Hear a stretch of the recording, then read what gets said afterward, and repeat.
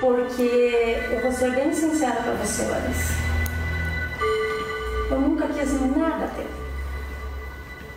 Nada. Eu vou te falar uma coisa, Larissa. Para você, eu só vou ser título de mãe. Quando falar mãe para você, você só vai ter o título de mãe. É isso. Licença. Que você recebia alguma coisa, algum dinheiro? Eu recebi uma mesada mesmo. Qualquer tipo de pagamento, que fosse uma passagem aérea, a compra de algo mais supérfluo, eu tinha que pedir autorização. Me dá um exemplo prático disso que você está falando.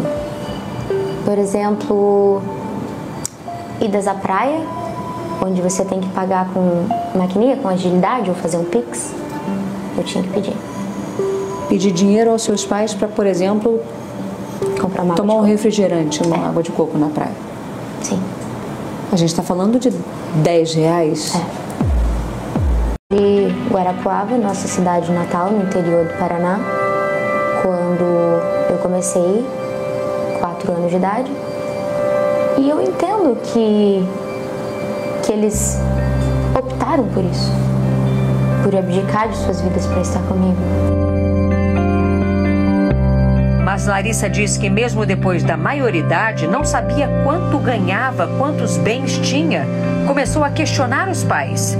E no último ano passou a ser mais incisiva nessa busca por informações. Eu só queria entender então esse negócio. Como estava essa questão financeira que nunca me era apresentado, que eu não sabia o que eu recebia, o que estava sendo pago. Depois de semanas de especulações sobre o rompimento de Larissa Manoela com os pais que administravam sua carreira desde pequena, a atriz resolveu falar sobre o assunto pela primeira vez. Numa entrevista ao Fantástico, a jovem de 22 anos disse que ficou insuportável ouvir tantas mentiras sobre si mesma. Na conversa com a repórter Renata, Larissa contou que deixou tudo o que ganhou até os 18 anos para os pais e a partir de agora vai administrar seus próprios ganhos.